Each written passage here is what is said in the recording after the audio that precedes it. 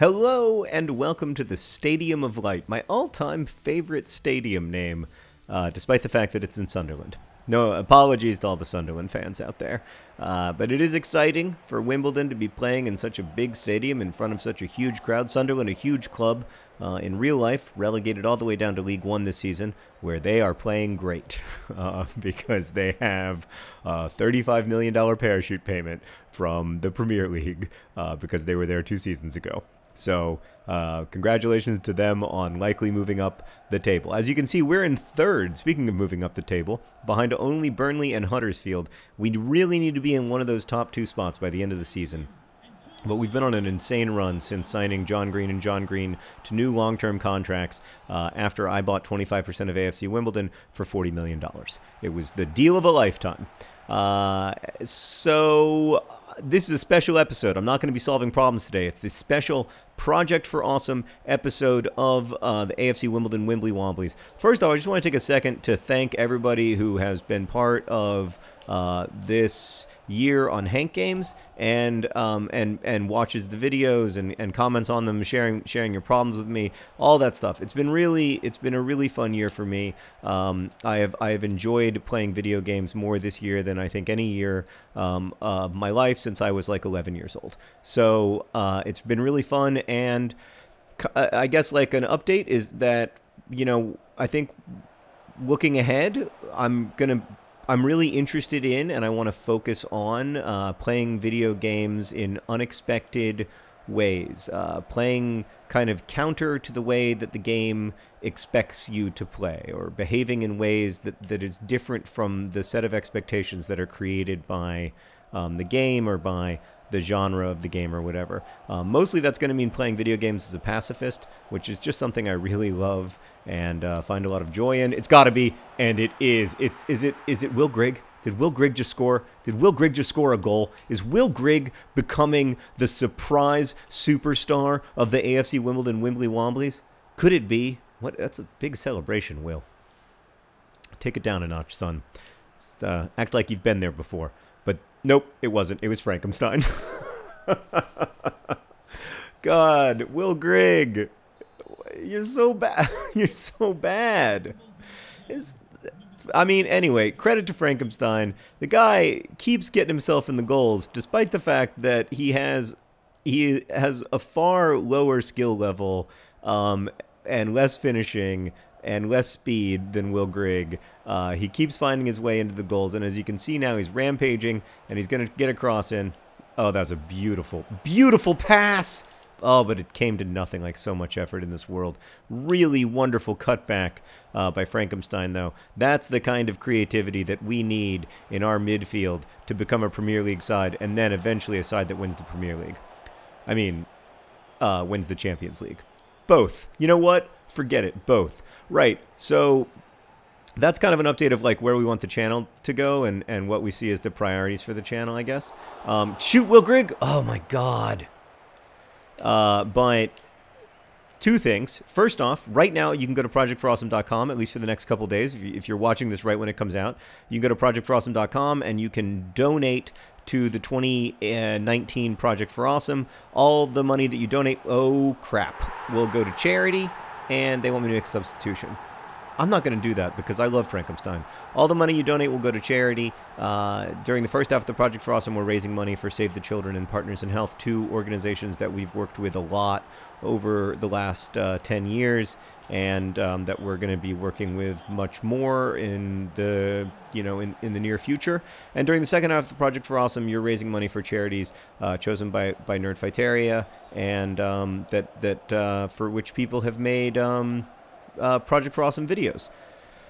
So you can know that your money will be spent well, and you can donate now. You, among the many perks that you can get, is that you can have me solve one of your problems.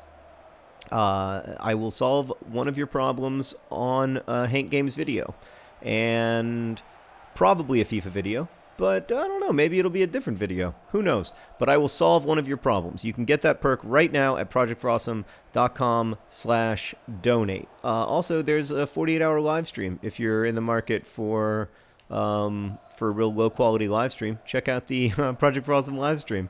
It's always a barrel barrel of monkeys. Oh God, we're gonna give up a second goal. Panic, panic at the disco. Everything worked out better than expected. All right, stop trying to get me to substitute off Frank. Mm, that actually makes sense. I, I, I don't know why the, I don't know why Benny Woodburn's so tired. He's 17 years old. He plays a lot of minutes.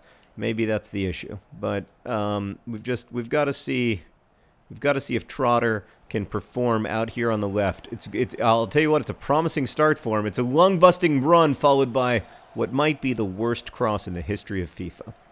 So yeah, I wanted to let you know that you can donate um, right now uh, to get to get that, but there are also lots of other perks uh, that that uh, that you can get, and uh, you know the biggest perk of all, which is being able to support really important causes around around the world, and uh, know that uh, you know that your money is doing something to hopefully decrease the overall level of suck in the world. So I'm gonna. The other thing I wanted to talk about is that I'm gonna keep playing FIFA 18. I love this team. I love these Wimbly Womblies. I don't. Uh, I don't particularly want a different set of Wimbly Womblies.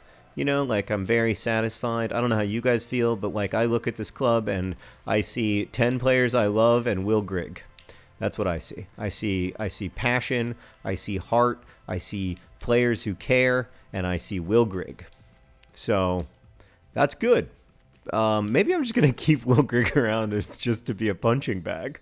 I feel kind of bad about all the flack that I give him, but on the other hand, I mean, I don't know. He just hasn't performed. It'll be interesting to see what the uh, what the response to him is is in comments because I feel like a lot of times if I'm hard on a player, he becomes like everybody's favorite player, no matter how bad they are. So that is a concern. But uh, surely your favorite player is Ball John Green, who just signed a three-year contract with the Wimbly Womblies. That was a bad pass. That was my fault. We, by the way, I, we've got to focus and win this game. I mean, this is exactly the kind of game that we cannot afford to lose. Oh my god, just as I said that. Okay, all right, okay. All right. Everybody take it down a notch. Hodor, great job holding the door on that one. We've got to make some we've got to make wholesale changes. That's the only I can't I don't think I can make wholesale changes because I think I brought on Dean Parrott at halftime.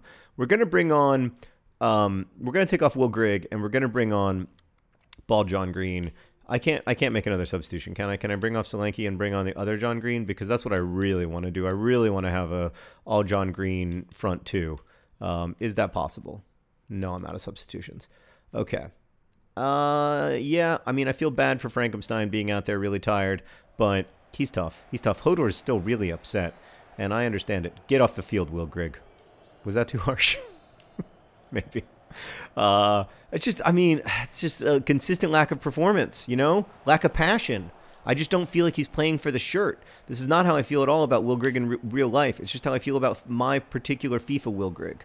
Maybe I should give him a different name so that it doesn't seem like I'm criticizing an actual person. I don't know. All I know is that I'm not satisfied with the effort on the field right now, and we need to find a way to turn this from a 1-1 draw into a 2-1 victory because that's the kind of result that's going to get us where we need to be into the Premier League, um, fighting for like real European domination, Wombles on tour, etc. So yeah, I'm going to keep playing FIFA 18 for I don't know, for the foreseeable future. Maybe like if FIFA 20 is amazing, then I'll play FIFA 20, but maybe there will be no humans by then. Who knows? I mean, I don't love I feel like we got a 99% chance of being a species in 18 months. I think that's you know what I mean, Meredith? Like you know how like everything ends including the human experiment itself? I think we'll still be around in 2020 though, right? Yeah, yeah, Meredith says yes, question mark. And I, I agree. I think things are fine. I don't know. There's always a chance that like the economy could collapse and there is no FIFA 20. I, I don't know. Listen, I I thought that I understood the world, and I, I, I it's got to be John Green. Oh my God, ball John Green, and it could could it have been that Will Grigg would have finished that opportunity? It's a stunning, stunning failure from ball John Green. The truth is, we all know that he he's a finisher, and that's the kind of that's the kind of ball that he finishes. It's it's ball John Green again this time. This time he does. This time not offside. Is it offside? Not offside. Not no, it's not offside. I just I, I I did the kiss the ring celebration, and then I don't know. For some reason, is it? Did I score a goal? Yes, I did. Huzzah! People say I'm not good at this game just because I can't tell when I score. Uh, oh, that's great news. Um, yeah, so uh, I'm gonna keep playing this, and then and then we're gonna play more uh, video games that aren't that aren't this. That'll be fun, kind of like pacifisty uh, things. If you have suggestions, by the way, for either for games I should play or for like ways that I could play um, existing popular games uh, other than the ways that you know like they are expected to be played, let me know. I really uh, I like I loved playing Fortnite as a pacifist this year with Jacob and Noah Carroll so so much. Um, and I, you know, that's not to say that I won't won't. Please, please, please, really great save from Hodor, who holds the door on two consecutive occasions. Great double save. Hodor making sure that the Wimbly Wombleys, well, no, no, no, it's too, I mean, at this point, it's all one-way traffic at the Stadium of Light. It's all Sunderland. They're running downhill. It's it's darkness. It's difficulty. It's off the post. Wow. Okay, let's let's all just take it down a notch. Take a breath, Hodor. Take a breath. I don't know what that pass was all about. What the flippin' heck?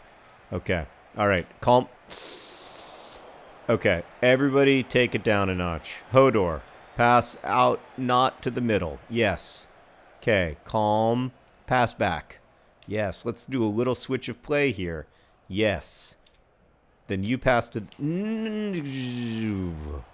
Boy. tell you, the Wimbly Wombleys just fallen apart a little bit here in the 85th minute. I mean, cannot hold on to the ball for longer than three seconds and a very bad foul.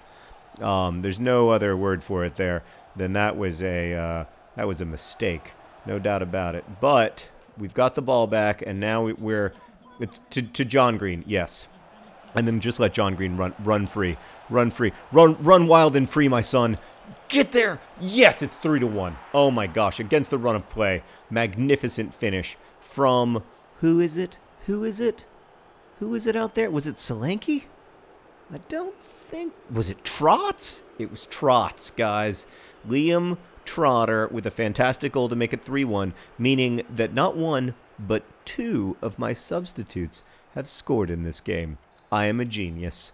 Uh, yeah, so let me know like what you'd like me like what you'd like to see more of this year. Again, go to projectforawesome.com uh, to check out this year's Project for Awesome. Vote for uh, charities that you want us to support, and you can go to projectforawesome.com/donate to donate. Congratulations, Mr. Manager Renio. Pure class as always. Thanks for watching.